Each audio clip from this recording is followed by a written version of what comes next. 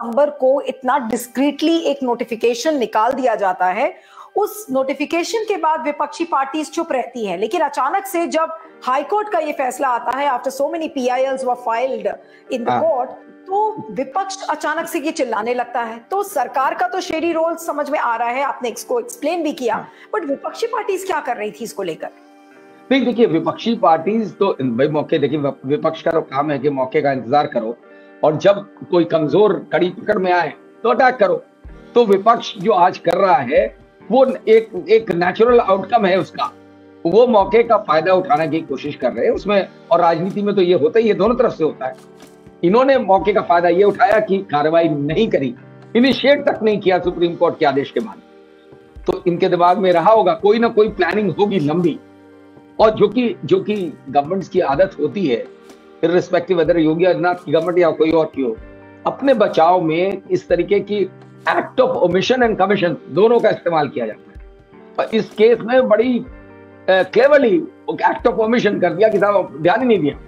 अगर इन्हें फ़िक्र होती चुनाव कराने की और अगर इन्हें फ़िक्र होती आरक्षण की तो ये ज़रूर का इसीलिए विपक्ष को मौका मिल गया है ये कहने का कि ये आरक्षण विरोधी है। वरना अभी तक आपको लथार्जी शो करने की क्या ज़रूरत थी? आप ये कार्रवाई कर सकते थे।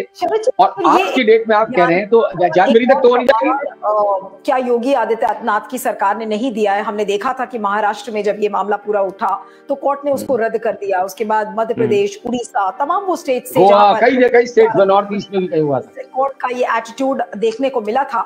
तो क्या उससे भी सीख योगी आदित्यनाथ ने नहीं ली? और अचानक से उन्होंने सोचा कि कोई पीछे से वो जादू की छड़ी चलाएँगे और ओबीसी आरक्षण लोगों को मिल जाएगा? नहीं इसीलिए ज़ाहिर ये होता है तो इसी वजह से विपक्ष का ये आरोप कि ये एंटी रिजर्वेशनिस्ट हैं, या आरक्षण के विरोधी हैं, या ओबीसी के विरोधी हैं, देखिए as it is Yogi Adityanath के बारे में ये बात बहुत ज़्यादा ये एक कॉमन धारणा हो चुकी है कि वो बहुत ज़्यादा प्रो ठाकुर है। ये आम चर्चा में बात होती है। तो उनका कहीं ना कहीं ये ओबीसी के खिलाफ कुछ ना कुछ हो सकता है माइंड में ऑलरेडी हो। तो उन्होंने सोचा कि ये एक तरीका, और ये इसलिए नहीं किया गया होगा क्योंकि आफ्टरऑल नरेंद्र मोदी जो है, प्रधानमंत्री, वो ओबीसी किसको जोड़ने में लगे हुए हैं। तो ऐसा काम तो योगी आदित्यनाथ नहीं कर सकते कि वो एंटी ओबीसी दिखे। लेकिन ये ज़रूर कर सकते हैं कि इस प्रोसेस को डिले करने के लिए बड़ा आसान तरीका अपना है कि आप भूल जाइए। ये आपने बहुत अच्छी बात, ये पॉइंट आउट करी कि डिफरेंट स्टेट्स में जब ये चीज़ हो चुकी थी और सुप्रीम कोर्ट का फर्म व्यू बड़ा एविडेंट था, बिल्कुल क्लियर था तो क्या वजह नहीं थी? अगर आपको मालूम था कि चुनाव होने हैं और चुनाव टाइम से होने हैं, वो भी कॉन्स्टिट्यूशनल बाइंडिंग है रेजर्वेशन भी कॉन्स्टिट्यूशनल बाइंडिंग है। लेकिन इन दोनों में आपको कन्वीनियंट ये लगा कि प्रोसेस को डिले करा दो, खत्म हो जाएगा मामला। तो अब ये किस तरह से इलेक्शन को ही डिले क्योंकि 24 से पहले होने में इनको एक खतरा है कि अगर 24 से पहले, ये बड़ी लंबी राजनीति है। अगर सिविक इलेक्शंस में गड़बड़ हो गई और नहीं मिल पाई भाजपा को उस तरह की सीटें तो एक वो जो फिजा बनती है, जो भूमिका बनती है 24 के लिए, जो कि नरेंद्र मोदी के लिए बहुत इंपॉर्टेंट है, योगी आदित्यनाथ के लिए इतनी इंपॉर्टेंट नहीं है, लेकिन उसमें अगर कहीं सेंध लग जाए तो इसमें कई तरह तरह की बातें हो रही है। कुछ लोग ये भी कह रहे हैं कि ये जो हमेशा माना जाता है कि कुछ ना कुछ डिफरेंसेस हैं अंदर अंदर। Everything is not okay between mister Narendra Modi and Yogi Adityanath. तो ये इसके पीछे वो भी हो सकता है।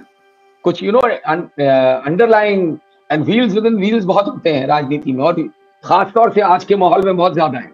सबको मालूम है कि इनमें और उठाया कि ये व्हील्स विद इन व्हील्स वाली जो बात है इसका सीधा जो कनेक्ट है, वो ओबीसी की वोट बैंक की जो राजनीति है, उसी से है।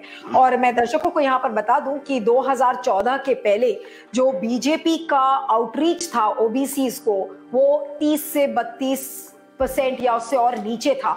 लेकिन 2014 हम्म। में जिस तरीके की बीजेपी ने सोशल इंजीनियरिंग की थी और उनका एक रीच आउट प्रोग्राम देखने को मिला था तो उसी के ज़रिए आइए आपको समझाते हैं कि किस तरीके के जाति समीकरण जो ओबीसी हाँ। के हैं वो नज़र आते हैं। हमने कुछ एक ग्राफिक प्लेट यहाँ पर तैयार किया है। उससे आपको आ, समझ में आएगा कि जो जातियों की गणित है वो किस तरीके से इसकी मिसाल बिछी हुई है। 2014 के लोकसभा के चुनाव में बीजेपी ने यूपी की 80 सीटों में से इकहत्तर सीटें जीती थी। साल 2017 के विधानसभा चुनाव में पार्टी ने 300 से ज़्यादा सीटें जीती। इसके बाद यादव को छोड़कर सभी जातियों ने खुलकर समर्थन किया। उत्तर प्रदेश के अंदर 234 किस्म की पिछड़ी जातियाँ हैं। करीब 35 फ़ीसदी आबादी ओबीसी की है।